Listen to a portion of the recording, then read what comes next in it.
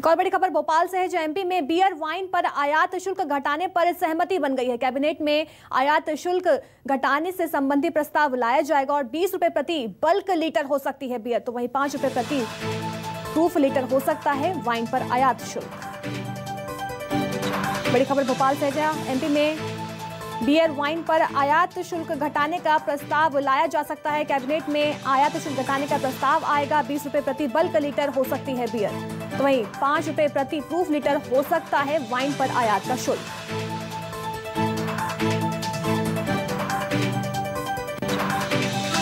मेरे सहयोगी लगातार भोपाल से बने हुए हैं। देखिए एमपी में बियर वाइन पर आयात शुल्क घटाने पर सहमति बन गई है। क्या कुछ पूर, इस पूरे मामले में जानकारी है?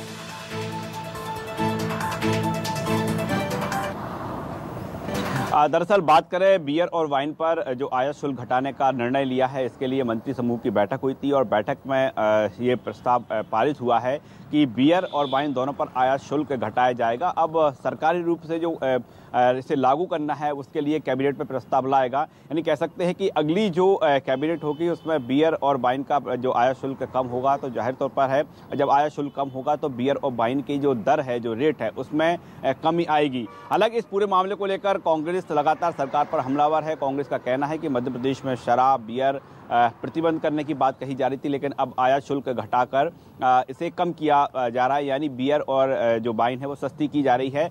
सरकार का अपना तर्क है। सरकार का जो तर्क है कि रेवेन्यू की दृष्टि से सरकार का खजाना लगातार भरता रहे और जिस तरह से मध्य प्रदेश को अभी खजाने की ज़रूरत है जो राशि की ज़रूरत है, उसके लिए सरकार का ये मानना है कि इसके ज़रिए जो राजस्व राजस्व इकट्ठा ज़्यादा होगा, राजस्व में बढ़ोतरी होगी। फ़िलहाल हम बात करें मंत्री समूह स्तर पर यानी सरकार स्तर पर ये निर्णय लिया जा सका है, लिया जा चुका है कि बियर और वाइन दोनों पर आय शुल्क घटाया जाएगा। और जब अगली कैबिनेट होगी तो कैबिनेट में इस पूरे प्रस्ताव को रखा जाएगा। यानी कैबिनेट से भी इस प्रस्ताव पर माहौल लगना लगभग तय है। जी, बिल्कुल। बहुत बहुत शुक्रिया राकेश जी हमें तमाम जानकारी देने के लिए।